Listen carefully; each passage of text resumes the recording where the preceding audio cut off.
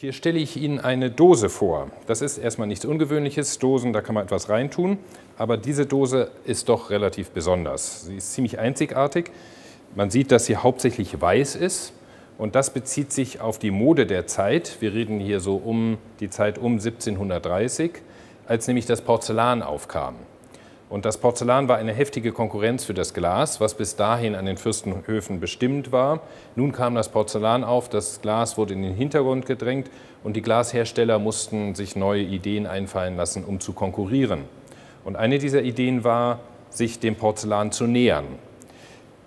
Diese Dose ist in Böhmen entstanden. Da gab es nämlich eine besondere Technik der Zwischengoldglaskunst. Das heißt, sie besteht aus zwei Gläsern, die ineinander gesteckt sind.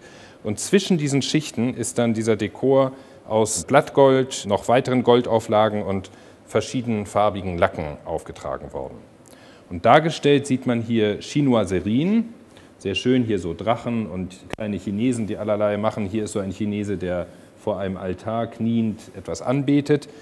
Und dann diese Schmetterlinge. Das sind Schmetterlinge, Tagfalter hier auf der Dose und Nachtfalter oben auf dem Deckel. Die Chinoiserien beziehen sich natürlich wieder auf die Porzellanherstellung, weil ja das Porzellan ursprünglich aus China stammte. Und wenn man den Deckel abnimmt, sieht man, dass die Dose auch innen wunderbar dekoriert ist. Hier zum Beispiel dieser Kranz, der dann so aussieht, als ob das Ganze noch äh, mit einer Metallfassung versehen worden wäre, um nochmal die Kostbarkeit zu erhöhen. Und wenn man die Dose etwas ankippt, sieht man, wie herrlich vergoldet die von innen auch ist.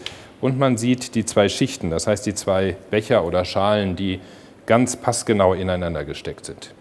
Das Ganze war ein hochgradig aufwendiges Verfahren, was auch oft genug schief ging, weil man nämlich unter großer Hitze, das ist nämlich so ein Lack dazwischen, der erhitzt werden muss, äh, und viel Druck diese Gläser ineinander drücken muss. Also ein großer Aufwand, um diese Dekoration herzustellen.